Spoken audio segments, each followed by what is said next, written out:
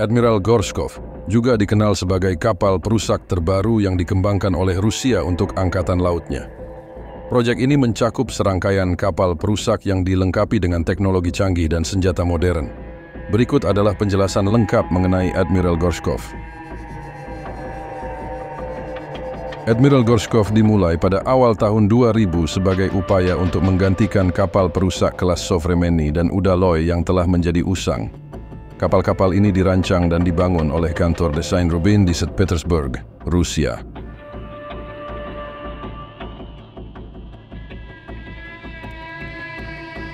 Admiral Gorshkov dilengkapi dengan berbagai sistem senjata, termasuk rudal jelajah, rudal udara ke udara, rudal pertahanan udara, dan senjata meriam otomatis.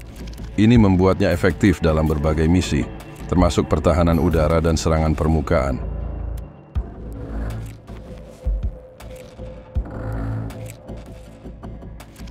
Kapal Admiral Gorshkov menggunakan teknologi tidak mudah terlihat untuk mengurangi jejak radar dan meningkatkan kemampuan untuk mendekati target tanpa terdeteksi.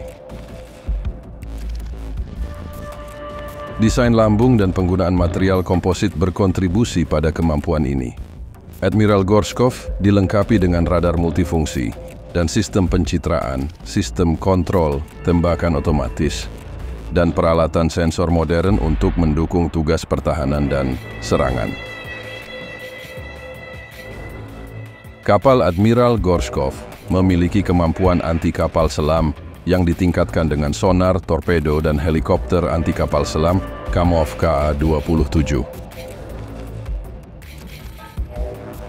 Admiral Gorshkov dirancang untuk melaksanakan berbagai misi, termasuk pertahanan udara, pertahanan anti kapal selam, dan serangan permukaan.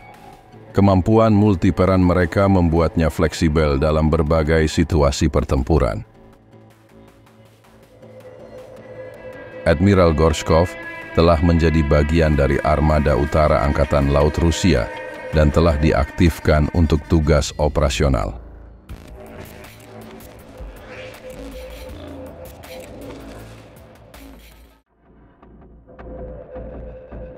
Type Limousine Destroyer, juga dikenal sebagai Ren High Class, adalah kelas kapal perusak canggih yang dikembangkan oleh China untuk Angkatan Laut Tentara Pembebasan Rakyat atau PLA.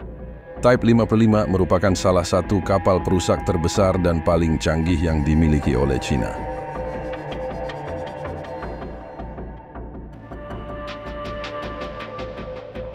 Type 55 memiliki panjang sekitar 180 meter lebar sekitar 20 meter, dan berat benaman sekitar 13.000 ton, menjadikannya salah satu kapal perusak terbesar di dunia.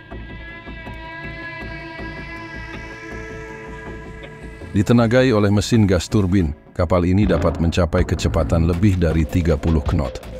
Type 55 dilengkapi dengan berbagai sistem senjata, termasuk meriam, otomatis 130 mm, rudal permukaan ke udara HQ-9B, rudal jelajah anti kapal selam CJ-10, dan sistem pertahanan udara jarak dekat.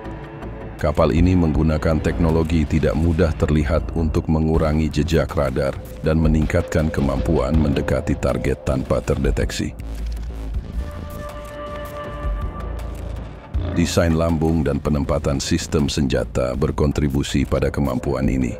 Type 55 dilengkapi dengan radar AESA atau Active Electronically Scanned Array, sonar, dan sistem pencitraan yang canggih. Sistem sensor dan peralatan elektronik membantu dalam mendeteksi dan melawan ancaman dari udara, permukaan, dan bawah laut.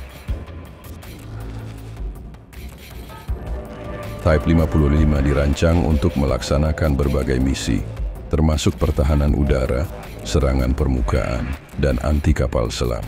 Kemampuan multimisinya membuatnya fleksibel dalam operasi maritim